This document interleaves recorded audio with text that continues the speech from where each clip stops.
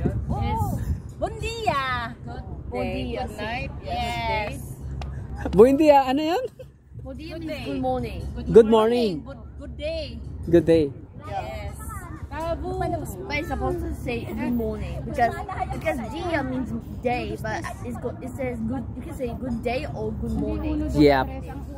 Ang, ang, ang uno nila is u. There's several meanings in Portuguese because on Portuguese is much much harder than English Ah, because you have to know about if you female right you say uh in- on the in, like the the or at or in like you know you, you have to say uh or u if it's like a female uh word you have to say uh but if it's a, a like a male Mayo. male word you have to say u Gracias. Mm, gracias. kasi si ano, Spanish.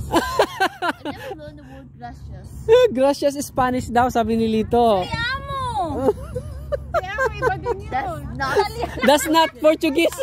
Spanish or Italian No, no, no, because uh, uh, Portuguese, Italian, Spanish, it's the same thing but instead the, They- they the words are understand. different at least 85% they understand. Okay. Yes.